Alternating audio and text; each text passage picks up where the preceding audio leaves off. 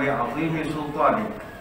اللهم صل على سيدنا محمد عبدك ورسولك النبي الأمي وعلى آله وصحبه وسلم. نويت التعلم والتعليم والتذكر والتذكير والنفع والانتفاع والعبادة والاستفادة والحث على التمسك بكتاب الله وسنة رسوله والدعاء إلى الهدى. Wa mardatihi wa qurbihi wa thawabihi lillahi ta'ala Allahumma raddina bi qada'ika wa sabirna ala bala'ika wa auzi'na syukra ni'ma'ika Ya Allah jadikan kami redha menerima takdirmu. Jadikan kami sabar menerima ujianmu. Dan bimbinglah kami untuk sentiasa syukur kepada nikmat-nikmatmu. Terima kasih yang berusaha Tuan Pengacara Majlis Yang berhormat Datuk Haji Kamaruddin bin Jaafar Timbalan Menteri Merangkap Ahli Parlimen Kawasan P124 Bandar Tun Razak. Yang dihormati Commissioner of Police Datuk Ayub Khan bin Maidi Picing Pengarah Jabatan Siasatan Jenayah Narkotik.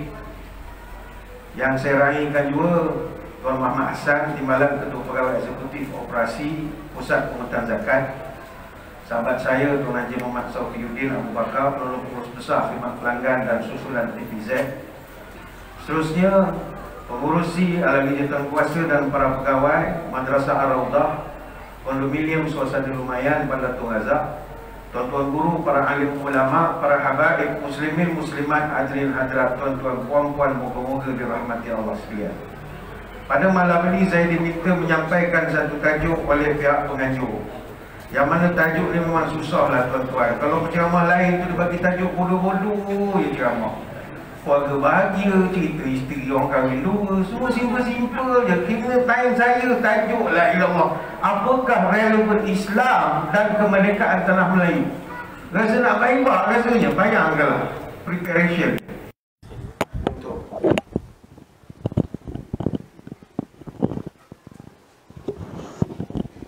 Mula balik?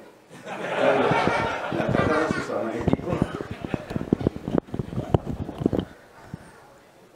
Tuan-tuan sekalian, saya diminta menyampaikan tajuk apakah relevan Islam dan kemerdekaan tanah Melayu.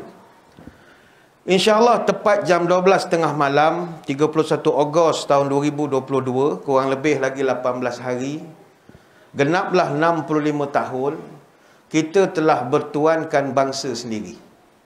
Merdeka ini khusus kepada orang muda kena ingat. Merdeka ni dia tak datang umpama embun di tengah malam. Merdeka ini dia bukan hadir secara magic. Kita merdeka bukan dapat kerana kita jampi serapah abra kadabra sim salabim diwadi malikam sinawari puh terus merdeka dah. Merdeka ini kita dapat dengan air mata, keringat, darah dan nyawa orang tua-tua kita dulu. Maka perjuangan orang tua-tua kita dulu kita mesti hargai. Saya selalu bawakan tamsilan kalau hari ni kita minum air kelapa muda, orang nyo muda, maka kita kena ingat air kelapa muda itu daripada pokok kelapa. Dan pokok kelapa itu ada yang tanam. Maka setiap kali minum air kelapa muda, ingatlah kepada nenek moyang kita yang menanam. Kita sendiri minum kelapa, tak pernah tanam pun pokok kelapa. Dan kita tak tahu legasi apa yang akan kita tinggalkan pada generasi yang akan datang. Selain daripada video TikTok je lah yang kita tinggalkan untuk anak cucu kita menengok benda-benda tak senonoh kita itu. Dan kalau kita kaji kenapa orang tua-tua kita dulu berjuang bermati-matian kerana mereka nak memastikan agama Islam kekal di negara kita sampai bila-bila. Sebabnya tuan-tuan Islam memang dijamin oleh Allah kekal sampai akhirat tapi tidak ada jaminan Islam akan kekal di Malaysia. Spanyol pernah beratus tahun Islam. Tapi apa jadi pada Spanyol hari ini? Filipina pernah Islam. Tapi apa jadi pada Filipina hari ini? Kenapa jadi begitu? Kerana mungkin kurang perjuangan daripada orang tua-tua mereka. Alhamdulillah tahun ini kemerdekaan kita atau hari kebangsaan lah dah ditukar nama hari kebangsaan sambutannya insya-Allah lebih meriah tahun-tahun yang lalu euforia gembira dan kegairahan kita nak menyambut merdeka jadi separuh hampa disebabkan oleh pandemik COVID-19 yang mengekang rasa gembira ketika itu Disebabkan latar sosioekonomi kita yang agak merosot lantaran wabak penyakit ada sedikit sebanyak menyelimutkan rasa dingin di kalangan rakyat untuk nak mengenang kegembiraan merdeka ini. Jadi yang pertama kita merdeka ini kita nak sambut dan mengenang pada 31 hari bulan nanti kita nak mengenang sejarah dan bersyukur. Saya nak bawakan satu naratif pada malam ini. Ini wallahualam lah kan orang kata melawan arus pula pendapat ini ya. Saya secara peribadi melihat negara kita tidak dijajah. Ini personal saya. Saya tidak melihat negara kita dijajah. Apa sebab? Pertama, penjajahan secara de jure. Ini istilah diplomatik. De jure ni penjajahan secara rasmi oleh British tidak berlaku di negara kita kecuali di Pulau Pinang, Melaka, Sabah dan Sarawak sahaja. Mari kita lihat. British kalau dia menjajah satu-satu tempat de jure secara rasmi, perkara yang mesti mereka lakukan adalah memansuhkan institusi diraja tempat itu. Sebagaimana yang secara standardnya SOP dia dah buat terhadap monarki di India, di Kenya, Tanzania, Zambia, Zimbabwe dan juga Myanmar. Sebab itu ada dua kesultanan besar di India telah dihapuskan secara total oleh, oleh British. Pertama sekali kerajaan Delhi di utara India yang bertahta selama 349 tahun. Habis. Dimakzulkan oleh kerajaan British. Sama juga dinasti Mughal di India yang bertahta selama 333 tahun. Dimakzulkan oleh British. Dan Raja Mughal yang terakhir namanya Bahadur Shah Zafar dibuang oleh British ke Myanmar tahun 1858 dan dia mangkat di sana dan tempat dia digantikan dengan Emperor of India ataupun Empress of India sejak daripada Queen Victoria tahun 1819 lagi. Dan Inggeris biasanya di mana-mana negara yang mereka jajah, dia akan lantik seorang viceroy. Viceroy ataupun Governor General sebagai ketua pentadbiran. Dalam konteks tanah air kita, British tidak melantik viceroy ataupun governor general mereka hanya lantik resident ataupun high commissioner ataupun chief commissioner di negeri-negeri Melayu bersekutu dan tidak bersekutu.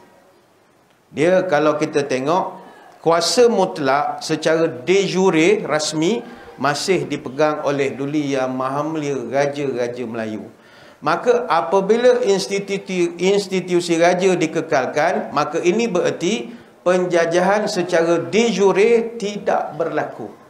Sultanates of the nine the, the nine Malay state existed continuously throughout the British rule until now sampai sekarang.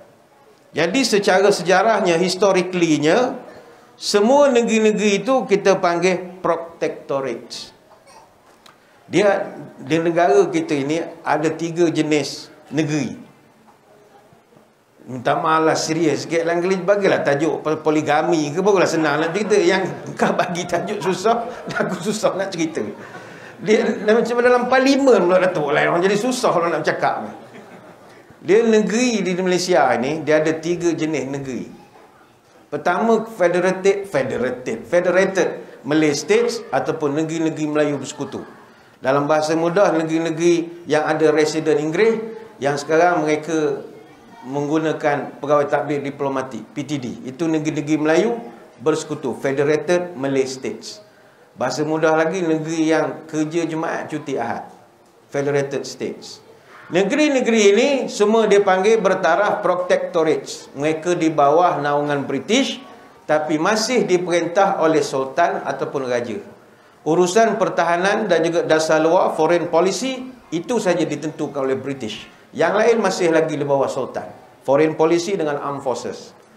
Negeri yang kedua, negeri Melayu tidak bersekutu. Unfederated Malay States.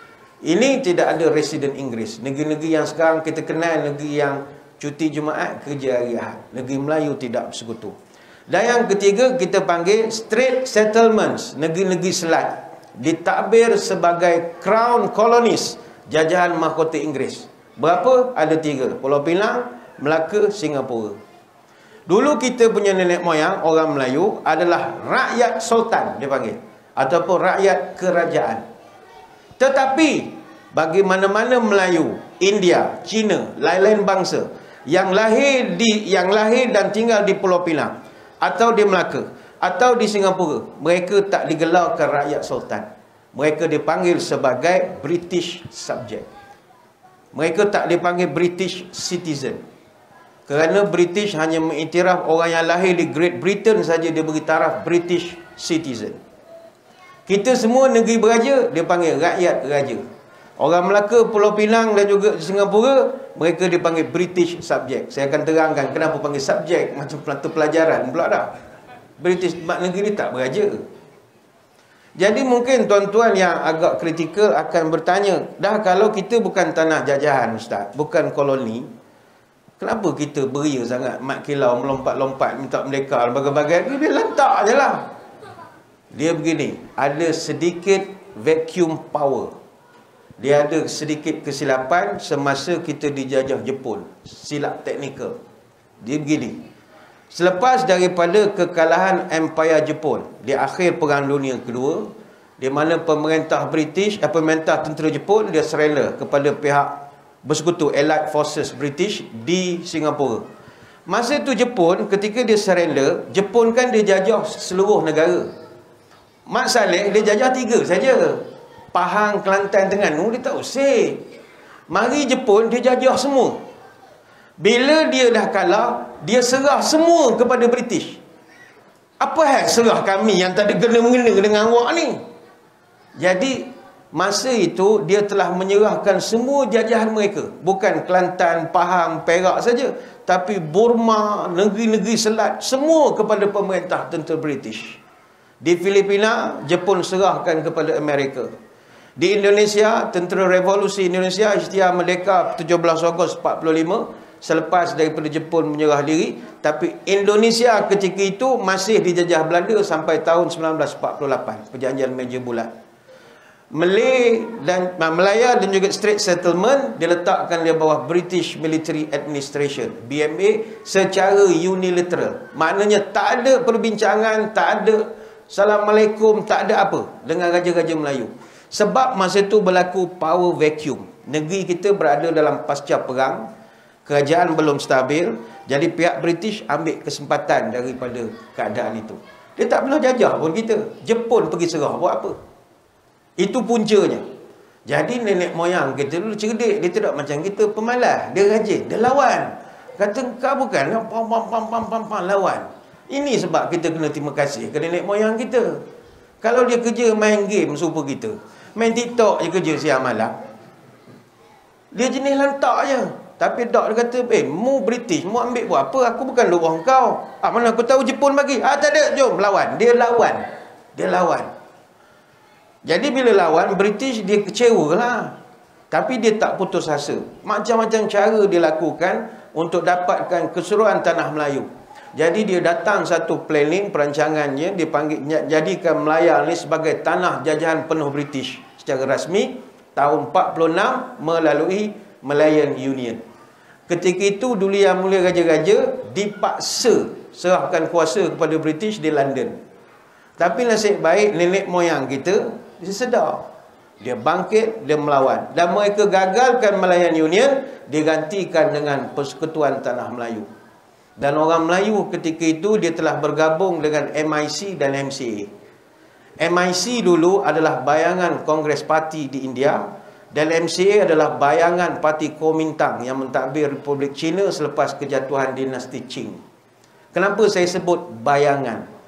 Sebab orang-orang China dan India yang dibawa masuk oleh pihak British sebagai indentured labourers ini bahasa nampak cerdik. Dalam bahasa kasarnya, buruh tambatan. Mereka dibawa masuk kerja buruh. Di ladang-ladang getah, lombor-lombor biji kepunyaan British. Mereka dianaktiri oleh British. Orang India dan Cina ketika itu tidak memiliki kerakyatan. mereka digelarkan stateless. Tak ada negara, tak ada rakyat. Jadi kita masa itu ada negeri-negeri Melayu bersekutu, ada negeri Melayu tak bersekutu dan ada straight settlement. Straight settlement ditakbir oleh sebagai crown colonies, jajahan mahkota daripada British. Maka MCA dan MIC mewakili kaum-kaum mereka yang berpaksikan kepada organisasi asal negara masing-masing. MIC dia ikut India Congress Party, MCA dia ikut Kuomintang Party. Dan British masa itu membenarkan pembinaan sekolah-sekolah vernacular, Tamil, sekolah Mandarin. Kenapa mereka buat? Sebagai persediaan bahasa dan budaya untuk anak-anak buruh ini. Kerana mereka jangka kalau anak-anak ni esok dah habis tempoh kontrak bekerja sebagai buruh, kalau mereka keluar, British keluar daripada tanah Melayu, mereka kena balik semula ke negara asal. Dan mereka dah disiapkan dengan bahasa Mandarin sebab takut tak kerti cakap Mandarin.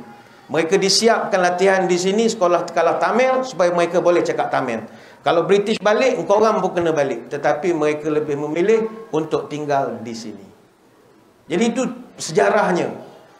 Mungkin tuan-tuan pula akan kata, Ustaz ni buat pening lah malam ni. Dah kalau tak kalau tak kena jajah Ustaz, hak kita beragak ramai-ramai stadium mereka tu apa halnya? Menjerit-jerit merdeka malam tahun 1957 itu.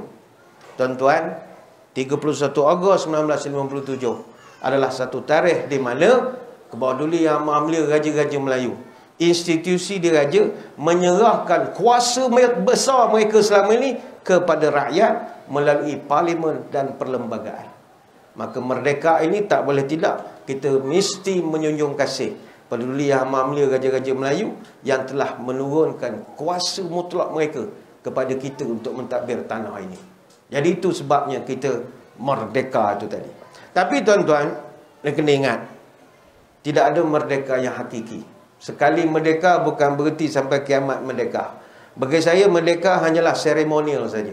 Lambat laun kita tetap dijajah. Penjajahan datang dalam pelbagai bentuk. Dalam bidang ekonomi kita boleh dijajah. Kita pernah dijajah oleh British bukan secara fizikal tapi secara ekonomi. Kalau adik-adik di sini pernah dengar sejarah Don Reid. Don Reid ni serang hendap waktu subuh yang telah dilaksanakan oleh pemerintah kita pada 7 September tahun 1981. Apa sebab? Kerana ketika itu British dia menipu kita. Tuan-tuan, British ni kuat nipu. Menipu beratus-ratus tahun pada kita. Ada pula orang percaya tu. Sampai sekarang ada orang lagi cakap cakap orang putih dia percaya. Saya pun tak tahu mengapa dia, dia tak belajar apa sejarah. Orang putih dia menipu. Dia meninggalkan negara kita, konon dah mereka, tapi tanah semua milik dia syarikat Guthrie milik British usia dah 100 tahun ketika itu 200 ribu ekar tanah di Malaysia ni semua milik syarikat British. Merdeka apa? Tanah bukan hak kita bumi jak milik orang. Maka pemerintah ketika itu kata tak boleh jadi kita pergi rampas balik. Macam mana cara rampas? Tak payah hantar komando kita hantar ahli-ahli ekonomi. Hantar tahun 1981 kita buat serang hendap subuh di London Stock Exchange Maka ketika itu dalam tempoh 4 jam saja kita berjaya membawa balik Guthrie, syarikat milik British selama 100 tahun lebih jatuh ke tangan kita 200 ribu ekar tanah berjaya menjadi hak kita balik. Hasilnya berlaku percantuman antara Guthrie, Golden Hope, Sime Darby jadilah GLC dan lebih itu sejarah lah. Erti penjajahan boleh berlaku dalam pelbagai bentuk. Sama juga sampai sekarang kita masih bergelut dengan tekanan antarabangsa untuk menandatangani treaty-treaty ataupun statute tertentu. Banyak. Contohnya kita kena wajib membenarkan mahkamah jenayah antarabangsa misalnya ICC untuk campur tangan dalam urusan pentadbiran negara kita. Ada dipaksa. Kalau tak sign, oh, dia ugut begini. Masih lagi benda tu masih berjalan. Atas kuat tak kuat je kita ni. Masih kita dijajah oleh wabak. Wabak juga sebahagian daripada bentuk penjajahan. Apa lagi? Akan datang bagi kita orang Islam, Nabi dah sebut, kita akan dijajah oleh Dajjal. Kita diajak, dijajah oleh Ya'juj Ma'juj. Pada adik-adik yang minat eskatologi Islam, Ya'juj Ma'juj Dajjal bagus. Tapi jangan layan teori konspirasi. Teori konspirasi tak ada kena-mengena dengan Dajjal dengan Ya'juj Ma'juj. Dajjal Ma'juj ada hadis ada ayat Quran kaul ulama teori konspirasi Kalau ilmu itu boleh menjadikan adik-adik semain subuh tiap-tiap hari di surau, ahlan wa sahlan.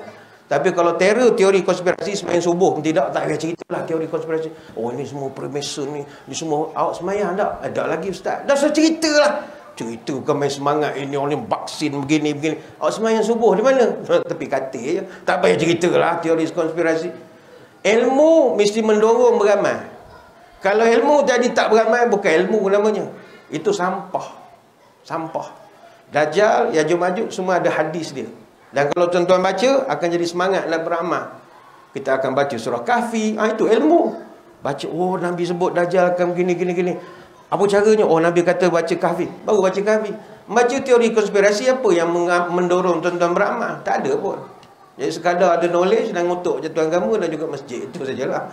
Imam bodoh, Imam Dajjal, Freemason, Bill Gates, Cristiano Ronaldo dan macam-macam lagi lah dikutuk. Dia tak ada apa-apa pun.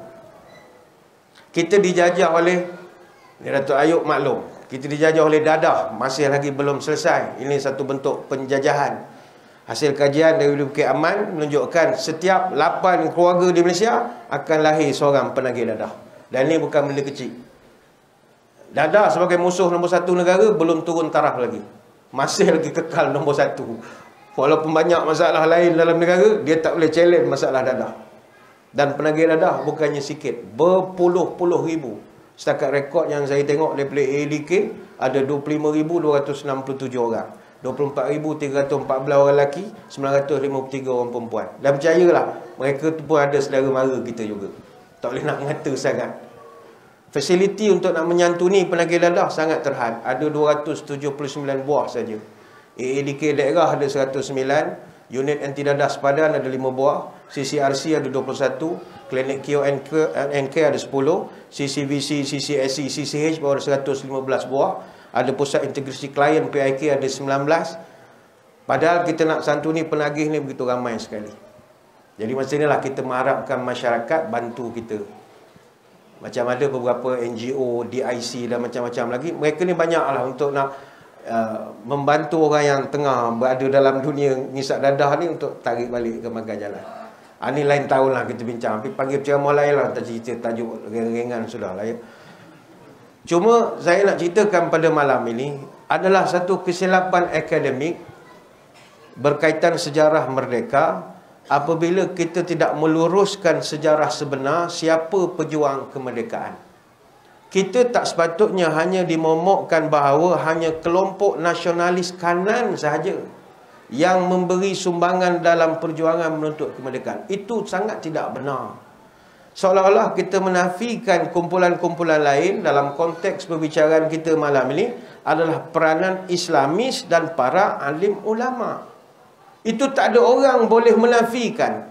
Langit sejarah telah merakamkan seawal abad ke-20 kemunculan arus kesedaran Islam di tanah Melayu dalam memperjuangkan nasib Islam dan bangsa Melayu di negara ini. Siapa yang menjadi tonggak? Ulama, agamawan, masjid, surau, pondok, pesantren. Nasionalis kanan, mereka pegawai British kebanyakannya. Ada gaji, ada allowance. Mereka berjuang cara mereka. Tetapi para ulama got nothing to lose. Mereka berjuang berhabis-habisan tanpa mengira apa ganjaran. Sebab itu sejarah menunjukkan bahawa gerakan menentang penjajah yang berlaku di Kelantan, siapa yang menggerakkan? Tuan Guru Haji Hassan bin Munas. Tapi British tak nak orang tahu dia tu Tok Guru, digelarkan dia Tok Janggut. Lepas sekarang orang panggil Tok Janggut. Padahal dia Tok Guru. Kita penceramah Malaysia apa kita tak panggil? Ceramah kita Tok Janggut. Silakan Tok Janggut. Tak panggil. Kita sebut gelar dia bagai-bagai. Ini Tok Guru Haji Hassan bin Munas, Tok Guru Pondok, pejuang mereka lagi, panggil Tok Janggut aja. Bukan salah kita. Kerana itu yang direkodkan di tahun 1915. Begitu juga kebangkitan ulama menentang penjajah barat di Terengganu tahun 1928 yang dipimpin oleh Tuan Guru Haji Abdul Rahman Limbong berserta dengan syarikat Islam Terengganu yang mengebarkan bendera khilafah Osmaniyah ketika itu. Sebab itu tuan-tuan, kebangkitan ulama tanah Melayu ini dia mengakar daripada simbahan kebangkitan ulama Islam yang sedang berlaku di seluruh belahan dunia ketika itu. Dia macam ada satu trend.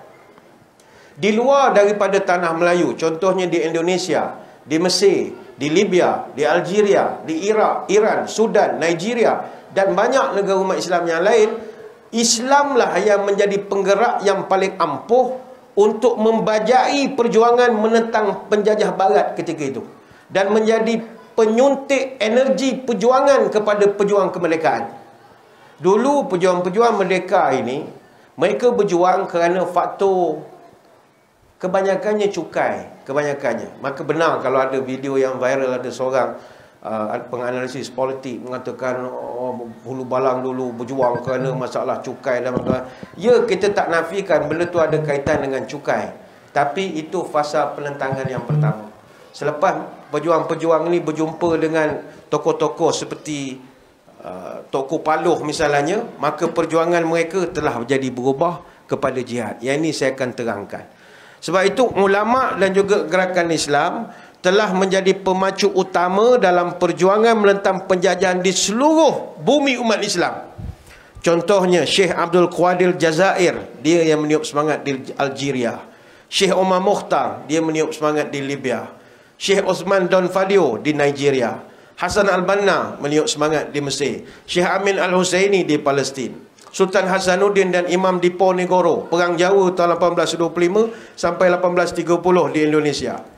Tuanku Hasan bin Munas ataupun Tok Janggut Begitu juga Abdul Rahman Belimbung Semua ini digerakkan oleh para agamawan. Banyak saya nak terangkan tapi saya ingat kita beri laluan dulu kepada azan boleh? Bagi berkat sikit kita punya kondominium ni biarlah azan sikit. Jadi kita beri laluan dulu kepada azan isyak tuan-tuan semua jangan ke mana-mana kita akan kembali selepas ini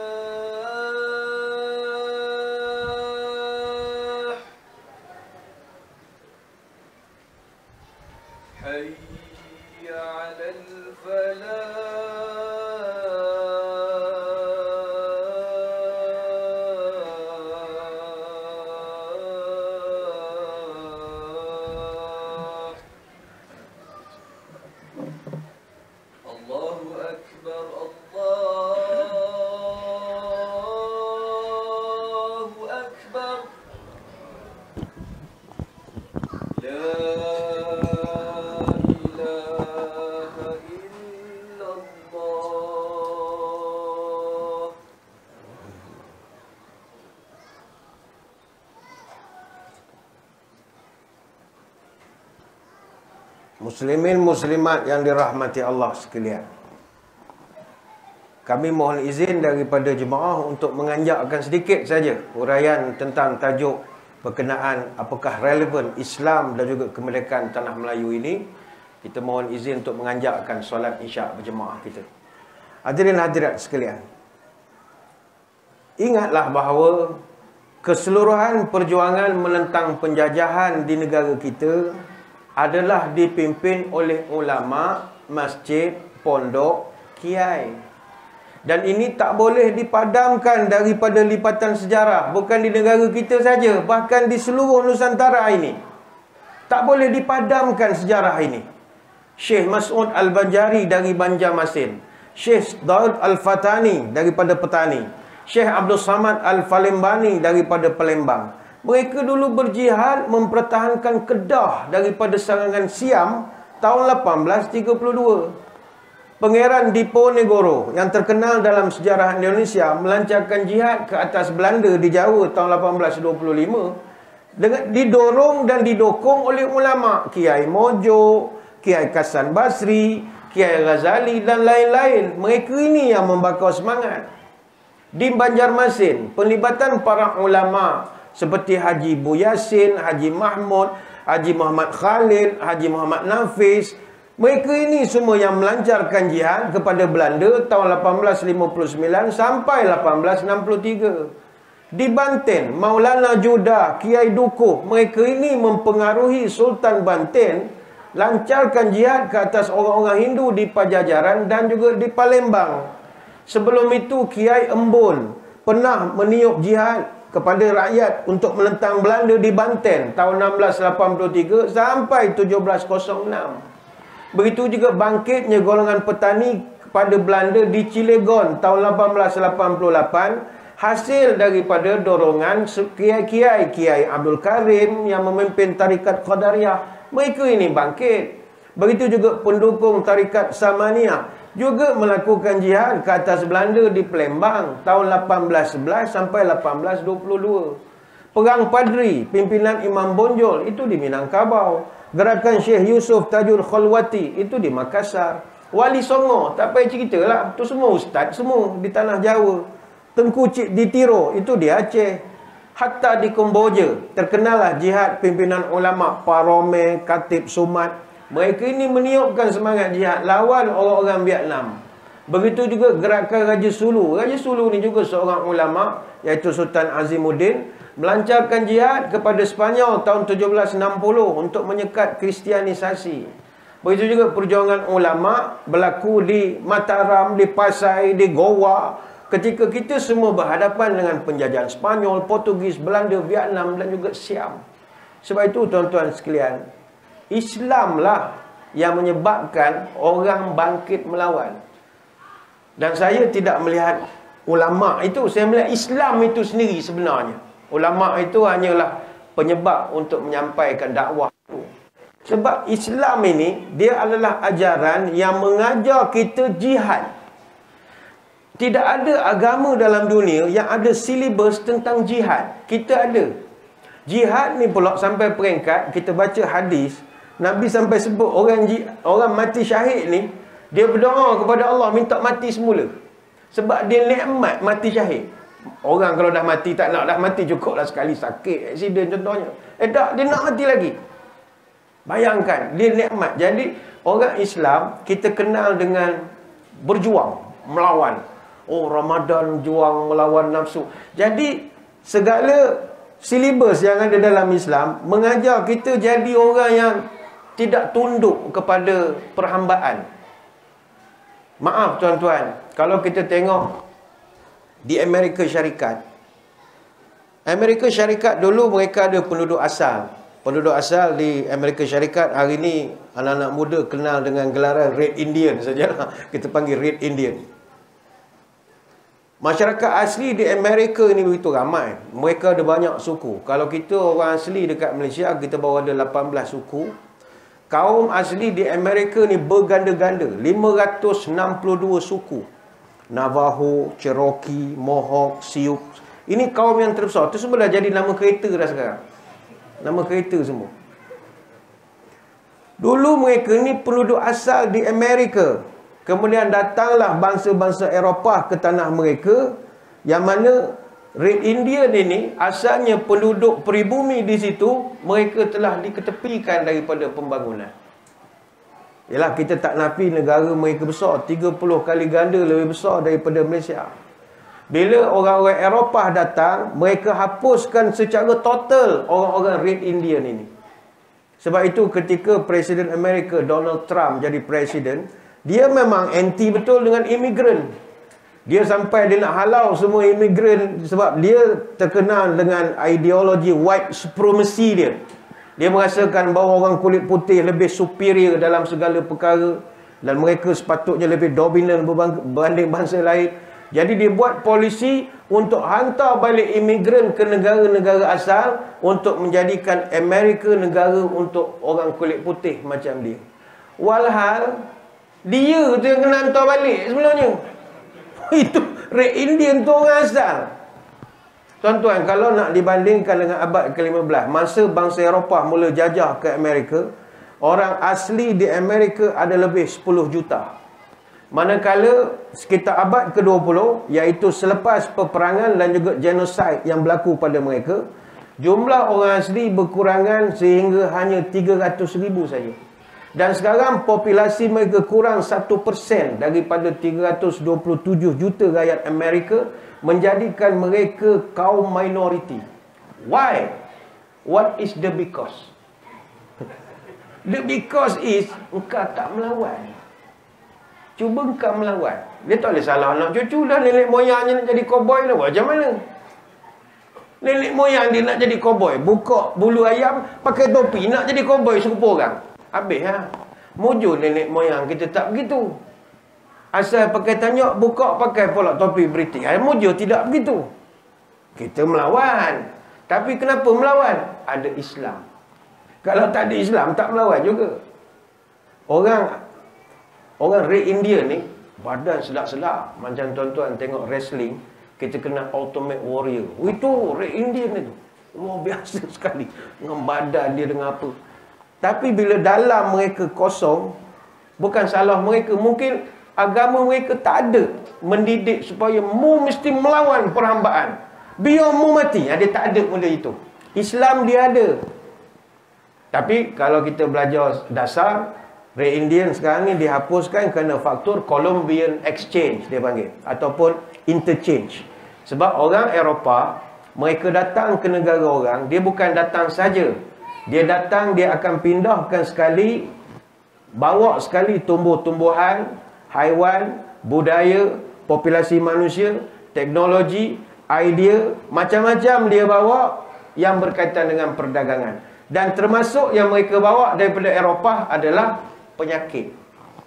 Mereka bawa penyakit pada kampung dia, maka berlakulah penularan penyakit yang dibawa ke Amerika Utara khususnya ketika itu seperti cacar, kolera, apa lagi ya, malaria, demam campak. Yang mana orang asli Amerika dulu, mereka jarang sakit.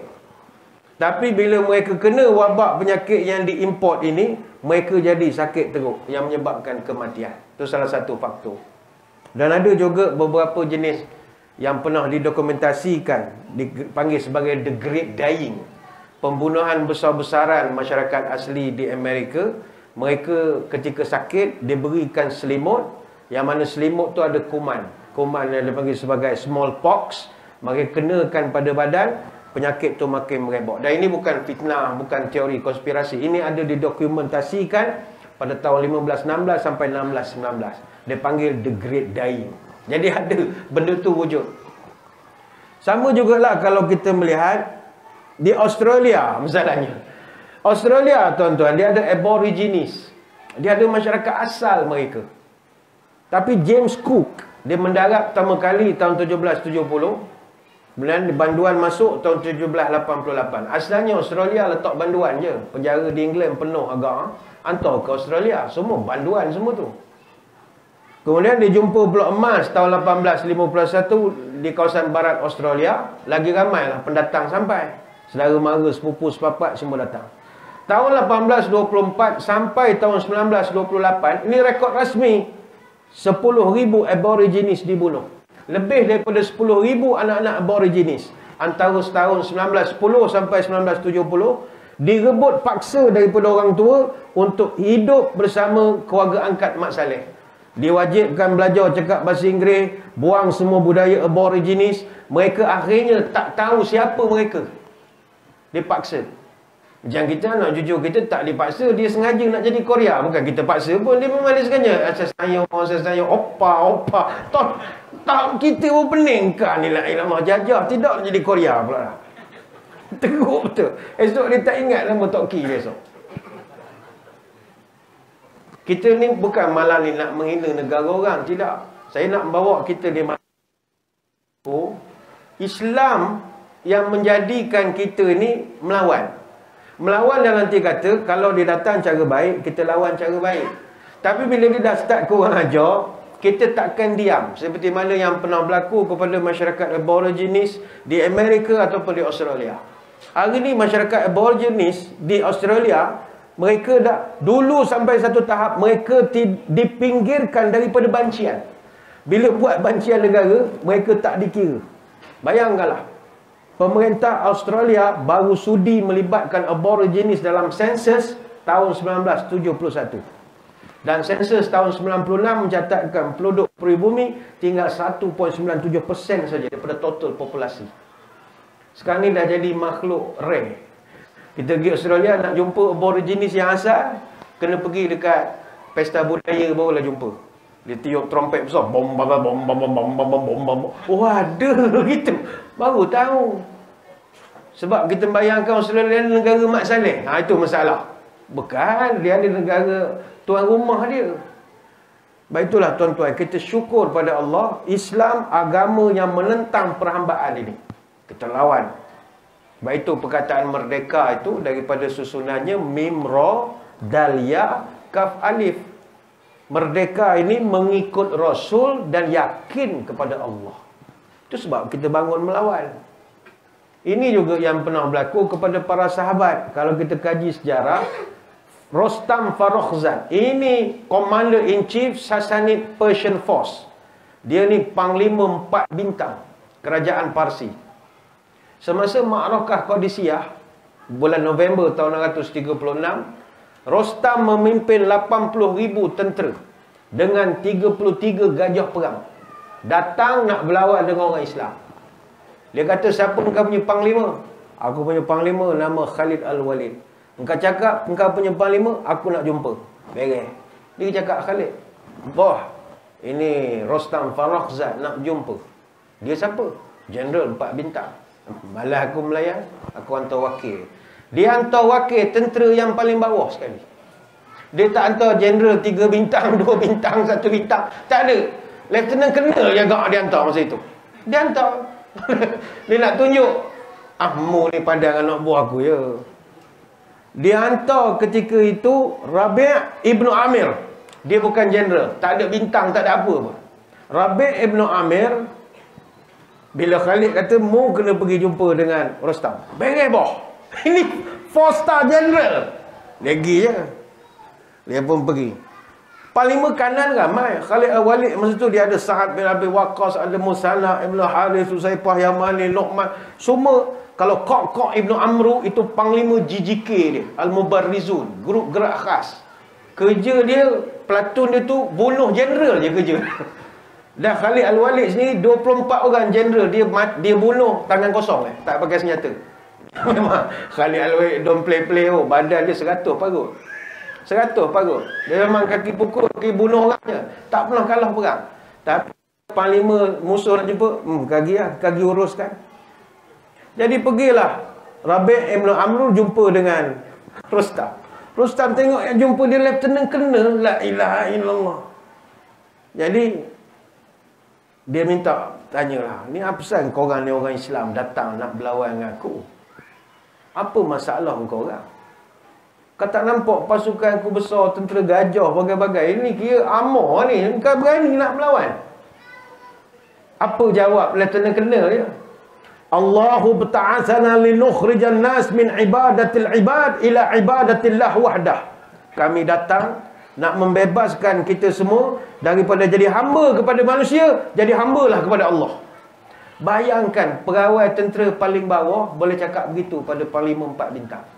Belum Khalid Al-Walid datang. Artinya, Nabi dah tarbiyah orang Islam ketika itu, hidup kita ini jangan jadi hamba orang. Walau apa pun pangkat engkau, jangan jadi hamba orang. Sebab itu, lapan doa Nabi yang paling favorite Nabi doa adalah Allahumma inni a'udzubika minal hammi wal hazan. Itu kan biasa kita hafal.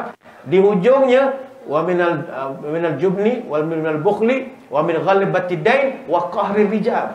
Ya Allah jauhkan aku dari dibelit hutang dan jauhkan aku qahri rijal dari hidup terlampau termakan budi dengan orang. Kalau sekali termakan budi, tergadai body sampai bila-bila. Dia bagi kita duit, dia bela kita, kita tergadai habis. Sebab itu jangan dijajah oleh orang. Dan Panglima uh, Amr bin Rabi' bin Amir kata, kami orang Islam nak membebaskan manusia daripada jadi hamba kepada orang supaya menjadi hamba kepada Allah. Itu saja. Dan semangat ini yang dibawa oleh para ulama pondok, oleh guru-guru pesantren kiai-kiai ini kepada pejuang-pejuang kemerdekaan ketika itu. Mungkin para ulama, para kiai ini dia tidaklah pergi perang, tapi dia meniupkan semangat. Macam Tok Palu. Dia berjaya tukar perjuangan Mat Kilau daripada sekadar berjuang kerana masalah cukai kepada perjuangan Islam. Dan itu direkodkan secara rasmi. Banyak dalam buku-buku disebutkan. Peringkat awal, yes. Dia tak puas hati, allowance tak serata. Ah, kebenaran mengutip cukai telah dipotong oleh pegawai daerah ketika itu. Yes, ada. Tapi ketika mereka berundur ke Terengganu, Tok Kupaluh buat tuning balik. Dia ajak balik, kita berjuang kerana Allah. Baru dia pergi berlawan balik. Baik itu tuan-tuan sekalian. Disebabkan itulah para pejuang kemerdekaan seakan-akan tidak pernah tidur. Tahun 1511 atau lebih tepat lagi 24 Ogos tahun 1511. Portugis dia jajah kita 110 tahun. Adakah sepanjang tempoh itu nenek moyang kita tidur? Tak, mereka bangun melawan.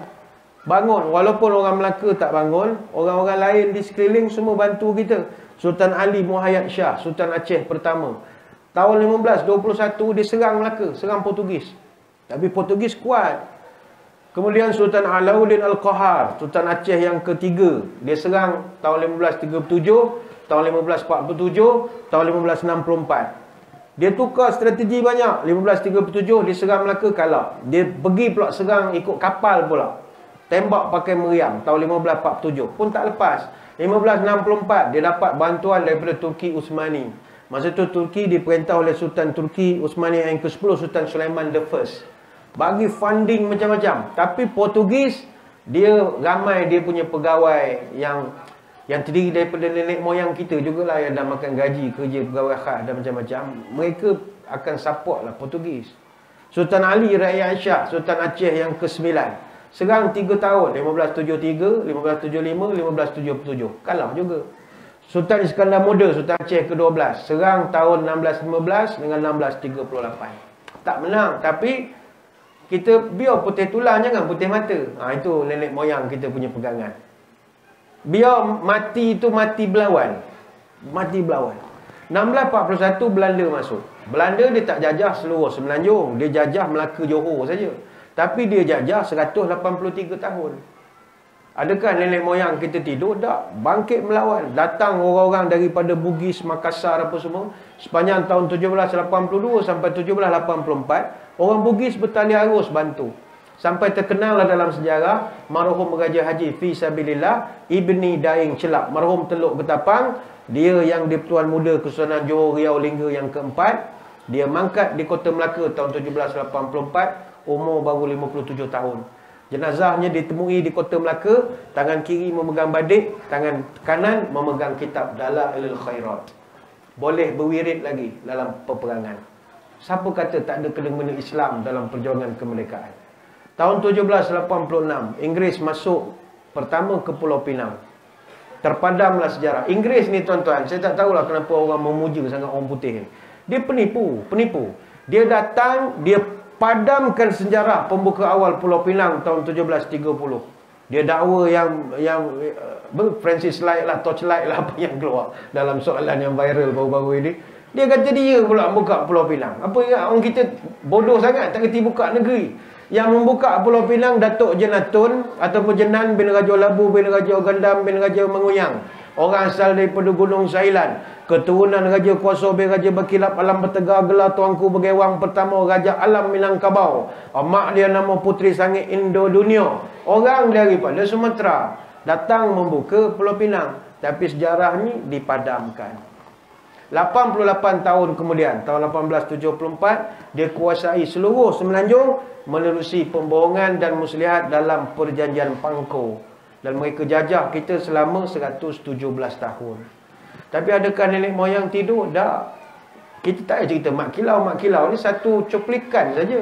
Dol Sa'in, Rentap, Mat Saleh, Datuk Mahaja Lela, Tok Janggun, Haji Abdul Rahman Limbung, Tok Ku Tuan Besar, Tok Ku Palu, Tok Kenali, Muhammad Syekh Muhammad Sa'id. Ini semua serangkaian pejuang yang bangun melawan orang putih.